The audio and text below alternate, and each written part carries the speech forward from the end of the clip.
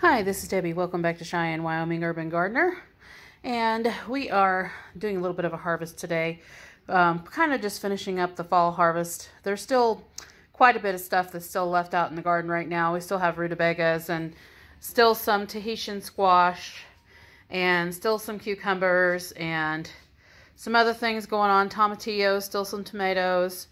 All of that is still going on. So we still have plenty of that, but we went ahead and got the main part of the harvest out of the way, which was the acorn squash, the rest of the white um, pumpkins, uh, one of the Tahitian squash, and um, white acorn squash, and also the green acorn squash, as we mentioned, and some more of the zucchini. I had some more yellow straight neck squash. Those are still both producing. And I had a gray zucchini and still another pumpkin that I had went ahead and brought in. And my cute little cookie jar. I picked that up at the Goodwill just the other day for $3 and I absolutely love it. It matches my kitchen table set that I just put on and you can see where I'm storing all the flat boxes and things for harvests and all of my other baskets that I've picked up from the Goodwill and places. But anyway, that's what we've been doing is just harvesting up some vegetables. I've brought in some tomatoes, some tomatillos, and um, some more cucumbers, as you can see there. They're kind of getting really weirdly shaped now. It's end of season, so that's what happens when they get to at the end of the season. They're still good. They're just a little oddly shaped. And loads and loads and loads of acorn squash. I think I counted 25 at one point in here, so I don't know if I've added a couple more since then. Some of them are pretty small, but that's what happens when you get at the tail end of the harvest. So I've got two or three that are pretty small, but the rest of them are all normal sized acorn squash, some bigger than the others. Um, some of these are pretty huge, honestly.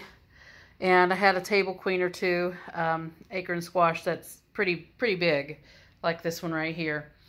So the Tahitian squash, of course, is hard to compare to because that thing is about 25 pounds. It's just huge across the table. The table across is um, over 60 inches and it takes up more than half of the table. So lots of good harvest going on. And like I said, we still have stuff going on in the garden. Let's go take a little bit of a tour. I wanted to show this real quick. We still have strawberries coming in. This is just the strawberries off the north side and I'm getting ready to go pick the ones on the south side now, which will probably have more, but we're still getting strawberries in as well. And here we are out in the garden. I have harvested quite a bit of stuff, so you're not going to see as much in here and started cleaning out the garden beds for winter. But we still have loads and loads of mustard, turnip, kale, and kohlrabi still going on. And I did bring some of the pots from the south side over to the, the um, front side of the house, which I think is on the west side. So have that going on here. We're still harvesting some seeds off of the cilantro or coriander. And we still have some radishes in here that are getting ready. And as always, I had to pause the video because, well, we had a delivery come in, and it seems like that happens every time I pick up the camera these days. So that's why you haven't seen me as much, is because I've been just so busy. Um, anyway, we still have carrots going on like crazy. Uh, we have some pretty good sized carrots in there as of now. I could pull them, but I actually want to leave them as late as I possibly can just so I can get a bigger size out of them. Right now they're usable and probably about six inches long, but I want them to be a, a lot thicker than that. So, um, just waiting for them to get bigger. And I have ordered quite a few of new seeds to try out for the new season. One of those, I believe, is the Cucota. Um, cucumber, or sorry, um, carrot, his Cucota carrot. So I want to try that. I think it's a Japanese variety of carrot. Um, it's supposed to get way bigger and be much sweeter. So I'm going to try that, see how that works. Um, I like all of the standard varieties of carrots, but I like to try something new all the time. And of course, we still have beets coming on, and they are hitting up very nicely. Um, got quite a few of some larger sized heads in there. I've pulled a couple of them already, which were very nice. So still have some beets going on. We still have a few lingering from the first run of beets, but not very many. I could pull those. They have nice heads on them. Rutabaga still going on. Um, loads of nice big rutabaga in there. You can see those purple heads in there. Um, some of them are so large now that I could compare them to a pumpkin at this point, especially this one up here in the front. Can see that guy over there. Let me see if you can see a better visual of him. There he is. So quite large. I ended up with a white cucumber mixed into my this was the acorn squash this is the white acorn squash and then I had the cocozelle squash over here and I ended up with a white cucumber somehow or the other that got mixed in so I noticed that I do have a white cucumber on this right there getting a nice size on it so I'm just gonna let it go it's got another one over in here kind of bent probably was pushed up against something. So anyway, just let it go and let it do its business. Um, I've suffered a damage to one of my cabbages, and I don't think that it's anything related to pests. I think it has to do with either it got too dry or maybe it got too wet. But as you can see there, I've got a little bit of damage on it. But the cabbage right next to it looks absolutely fine, and so does the one next to it over here. And then of course I have three other cabbages here and those look fine as well. Again, the holes are not damages from pests. Those are from hailstorm that happened uh, not very long ago. Still have plenty of parsley coming on. And that's the patch that I will leave. I'm so glad that it bounced back as well as it did. I still have some more Swiss chard that's happening. I've just been pulling some of the leaves and it keeps coming back out. So Seems like it's pretty prolific. Anyway, still getting some really nice sized cocozelle squash off of these cocozelle squash plants. And I still have some pretty nice spinach. There's only a few bunches in here left, but some really nice spinach. And it is not going to seed or anything, which is good.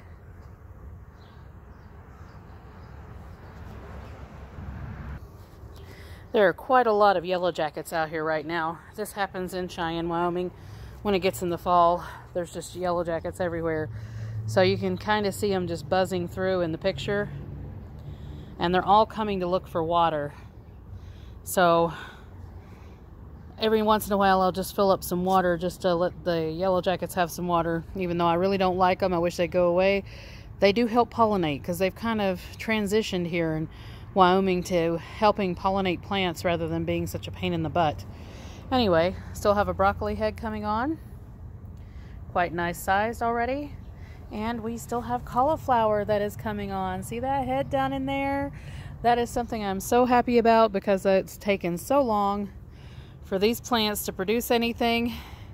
And as you can see, they're getting loads and loads of leaves on them again. It's about time to trim them again. Um, just an amazing amount of growth on these things because you know I have trimmed them like four or five times taken all the bottom leaves off and just basically left the upper leaves and they had just keep keep producing leaves but they do have little cauliflower heads on them that are coming on my lettuce the romaine lettuce is basically went to seed it's still edible it's just a little bit more um, I wouldn't even say bitter it's, it, you can still eat it just fine it's just a little bit tougher um, Still have yellow straight neck squash coming on. Loads of it through there. Still have peppers coming on my plants. So I'm not getting rid of them until I absolutely have to. Still have zucchini. Lots of that going on. But I did take out, if you noticed, there were no more pumpkins. I did take out the pumpkin vine because it was no longer blooming, which means that it was done. So the only thing that's left over here in this section is a zucchini plant or two that's remaining and it does have a zucchini on it a couple of them actually that are going to be quite nice so once it got that sun in there it just kind of took off even more and I've, I've had several zucchinis off of that plant so really prolific nice plant over here for some reason the pumpkins and zucchini and squash all seem to love this little tiny area over here a lot more than the rest and as you can see, I do have kohlrabi. Nice heads on the kohlrabi that's happening. It took a long time, it seemed like, for the kohlrabi to come on, but it finally is. And I still have loads of flowers that are blooming. Still have violas.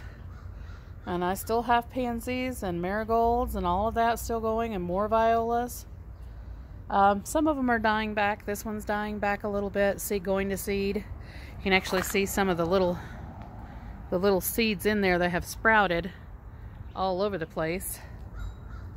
So I'm expecting that I'm going to have to do a lot of weeding this uh, next season of violas and things that have spread everywhere because I just had so many this season.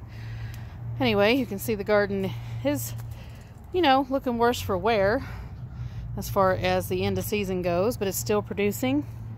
I just picked another gallon of green beans off of these green bean plants. And I went ahead and added some more soil at the base of the plants so I can get more out of them because we're not looking at having any type of freeze or frost anytime soon that it looks like. So I'm just going to let them go as long as I can. They can keep producing if they want to. The peas look pretty bad. I'm probably going to get in here and clean all of these out. And I might actually attempt to plant some more since I don't see any bad weather coming anytime soon. And peas will handle a frost.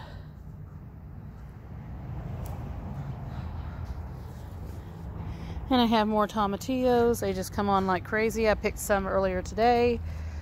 And they're just continuing to go. So I'll keep picking as long as they keep producing. And as you can see, I did clean out all the red curry squash. They were done for the season. So they are out of this section. All that's left now is some basil along the strip. And it's doing quite well. And now that it's um, had the shade taken out, it is really starting to explode. I cleaned out some of the cucumber plants, but not all of them because some of them are still producing. So you can see it looks a lot more sparse in here, but still producing anyway. So let's walk through the garden now that we can get through it. As you can see, my soil is not bad at all. It has been amended a lot over the years, so it's quite nice soil. And you can see where I did hoe up uh, the soil up around the beans just to see if I can get some more production out of them. I actually see a green bean that I can pick right now. Couple of them, in fact. Look at this. I missed those yesterday, it seems. So I'm going to go ahead and pluck those and add them to the bag. So it's a full gallon of beans that I have. And as you can see, the vines still look pretty healthy. Got a little bit of yellowing. I've had a couple of the plants die off, but for the most part, they're still going pretty good. So I'm just going to let them go. Looks like that, that part might die off. So it's a little wilted right here.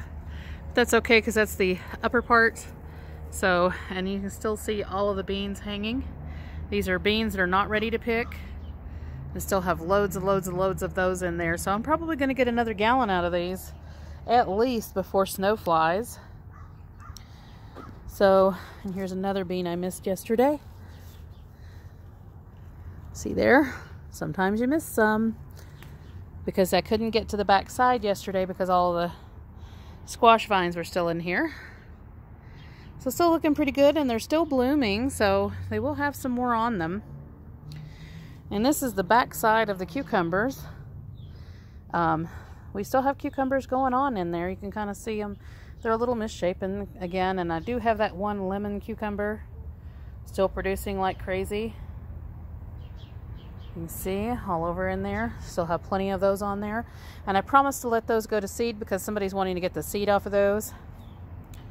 Still have super sauce tomatoes coming on, at least off of this one plant. I think the rest of them are kind of died back. This one's a little bit alive, just a little bit.